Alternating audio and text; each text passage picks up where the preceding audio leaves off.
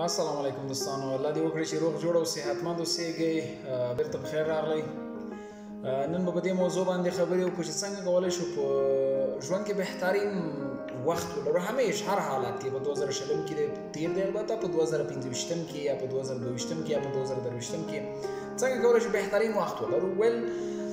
زما په نظر تاسو چې غواړئ چې بهترین وخت ولرئ نو باید بعضی سوالو ته ځوابونه ورکړئ رائټ سو لیټس ګیټ سټارټډ اول سوال سره پیل کو اولین سوال به درته ووایم زه له خپلو اړیکو څه غواړم دغه سوال له ځان څخه وکړئ چې زه له خپلو اړیکو څه غواړم تاسو سره کوم اړیکې غواړئ ولرئ غواړئ سره کوم ښځه ولرئ غواړئ سره کوم ارتباط ورور سره ولرئ مور سره ولرئ دغه سوالونو ځوابونه بیرته ولري کوي او هر هغه شکل مو چې ځواب ولیکلو هغه په ذهن کې ونیسي او ورته کار وکړي دوم زه سره کوم ملګری غواړم چې ولرم سره کوم ملګری غواړي چې ولرم د کومې طبقې غواړي استادان اوسي غواړي مدیران اوسي غواړي په دفتر کې کار وکړي غواړي په دولت کې کار وکړي غواړي ټلویزیون کې کار وکړي سره کوم خلکو سره غواړي ارتباط ولري هر رقم خلکو سره چې غواړي ولیکه ځواب یې غیر وخت پلانینګ وکړي چې لکه ما خدای خلک پیدا کولای شي او هغوی سره قوي بانډز قوي اړیکې جوړې کړه دریم زه غواړم چې څه رقم مسلک ولرم او په کم حالت کم وضعیت کې هغه باید اوسي څه رقم مسلک غواړي ولري غواړي ډاکټر اوسېږي کله چې ډاکټر شي او عادي ډاکټر اوسېږي او واقعا یو شهرت ولري آیا د کابل په سطح شهرت غواړي د افغانستان په سطح شهرت غواړي که په نړیواله سطح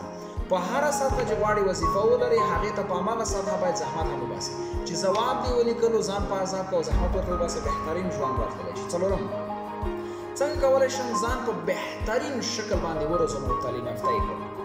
ځواب یې ولیکه څنګه کولای شم د ځان څخه په لوړه سطح ګټه واخلم څه وکړم چې ځان تر ټولو تعلیم یافته کس معرفي کړم او تر ټولو مفید کس اوسې د ټولو لپاره هر څه ځواب او هر شکل هغه کار چې هر رقم کار هغه مارکیټینګ او هغه انګلیسي کې پرمختګ او هغه د طب زده کړو هر څه چې هغه باندې کار او ځان په آزاد کو څلورم